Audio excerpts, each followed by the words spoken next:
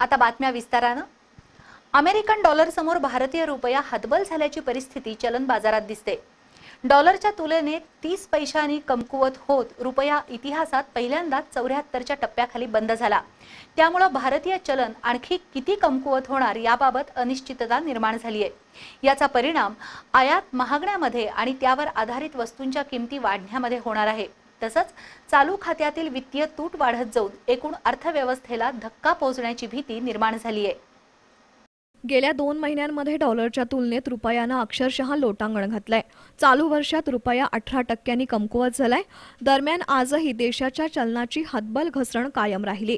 सकाळच्या सत्रात रुपया अठरा पैशांनी घसरला आणि त्र्याहत्तर पूर्णांक पंच्याण्णवच्या पातळीवर गेला.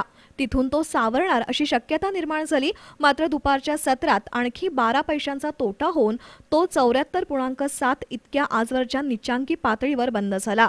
विदेशी गुंतवणूकदारांनी जुलैमध्ये सात हजार चारशे कोटी रुपये ऑगस्ट आणि सप्टेंबरमध्ये एकवीस हजार कोटी रुपये तर ऑक्टोबरमध्ये नऊ हजार कोटी रुपये काढून घेतलेत. दुसरीकडं कमकुवत चलनामुळं आयात महागली आहे. कच्चं तेल इलेक्ट्रॉनिक वस्तू आणि सोन्याच्या प्रचंड आयातीमुळं डॉलरच्या मागणीचा क्रम चढाच राहिला.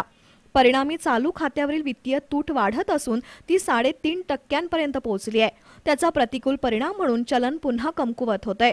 या दुष्टचक्रातून बाहेर पडण्यासाठी केंद्र सरकारनं ॲक्शन प्लॅन तयार करणं गरजेचं आहे. सध्या तरी चलन कमकुवत होण्यापासून थोपवण्यासाठी केंद्र सरकार उत्सुक दिसत नाही.